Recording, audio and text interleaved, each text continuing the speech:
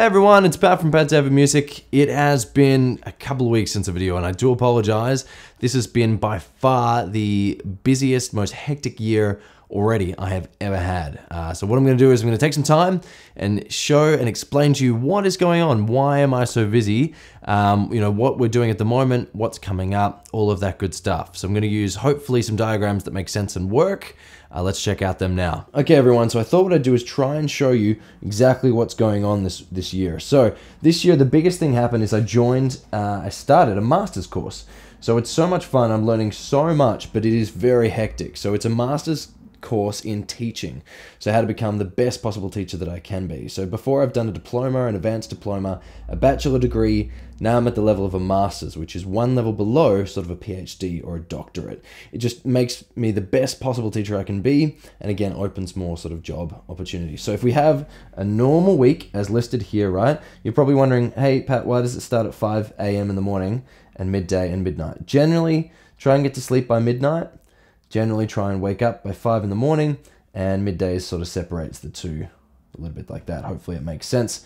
So, anyway, we'll go through. So, every morning I wake up at five in the morning and I go for a run and I'll do some gym. That's just how I sort of start my day. I won't put that in because that's sort of just at the very, very start of the day.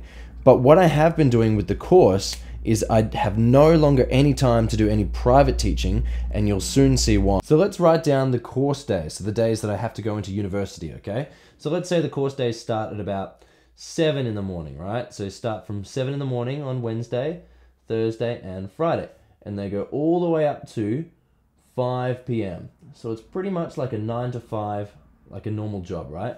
So those times are all taken up with with uni. So I need to leave at 7 a.m. in order to get into school by 9 a.m. So all of that time is taken, okay? Now, unfortunately, I wish I was in a position where I lived at home or I lived with my parents or someone could back me financially, but sadly I'm not. So what that means is I have to work. So my other job that I've got, unfortunately, with no time to do private teaching, is I'm going back to my backup of working at an ambulance as an ambulance dispatcher. So again, that starts at 7 in the morning, so realistically I need to leave by 6, and then it goes all the way till about 3 o'clock. 3 to 4 o'clock, so it's a little bit shorter than the uni days. But again, that's Saturday and Sunday. Now, most of the time I actually pick up an extra shift, I would say most weeks. So just before, well, just after uni finishes, I then go to work as an ambulance dispatcher on Friday nights as well. So as you can see, Friday is completely done. Work out in the morning, then go to university, and then work at the ambulance. Then immediately after that, I've got work Saturday morning and Sunday morning. Okay, but you're probably thinking, Pat, you've still got all of Monday and Tuesday. What's going on there? Okay, so let's get out another color. So Monday and Tuesday, every single week, I do placement. So what that means is I go into a primary school, I do different classes, I teach different things, I learn different things, I make observations. After school, I stay behind and go to the meetings. And again, that means I need to leave at about 7 in the morning and I get back home at about 5 o'clock, sometimes 6 o'clock. So again, that's sort of taken out. And then you're still probably thinking, well, you've still got all these chunks of time here, yeah? By the time I sort of get back, most days it's about 6 or 7 o'clock which is fine, okay?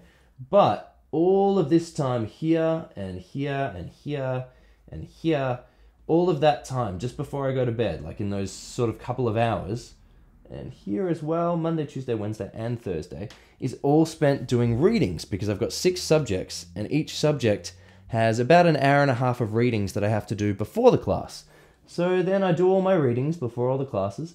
Then once those readings are done, if I've got another color, there's assignments due every single week. Like this week, I just finished a 2,000 word essay that's due, um, you know, the next couple of days, and it's worth 50%. So once the readings are done, I then need to go back and work on assignments. So realistically, the only time I have free is Saturday, Sunday. So Sunday, I normally take, you know, an hour or two to myself and just relax, and then I'll go see family because that's so important. And then when I come home again, I'll do more study. And Saturday, that's the one time really where I've got off the entire week, and that's where I see my amazing girlfriend. So if all of that made sense, that's the timetable that I'm working with every week. The only time I have off is Saturdays to spend with my girlfriend and Sundays. So it doesn't work. There's way too much going on there. So something's got to give, something's not right. So that's what I'm trying to work out at the moment. I'm trying to fix this schedule because it is bogus and it is not working. So hopefully now you can see that just there's just absolutely no time for anything. It's the worst. It has to go. So as you can see, guys, it's definitely not that I'm being lazy. There is just not enough hours in the day. So trying to rework my schedule and find out better time frames for everything so I can shoot more video. But there is light at the end of the tunnel. All of the next videos that are coming out are going to be videos that you guys requested, um, that you wanted to get better at, everything from finger picking and technique and building your own schedules and times. Every video that's going to come out is going to be related to that.